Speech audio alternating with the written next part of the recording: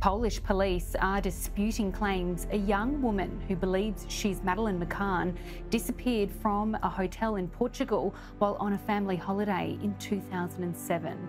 Julia Faustyna from Poland has made video statements on social media claiming to be the missing toddler.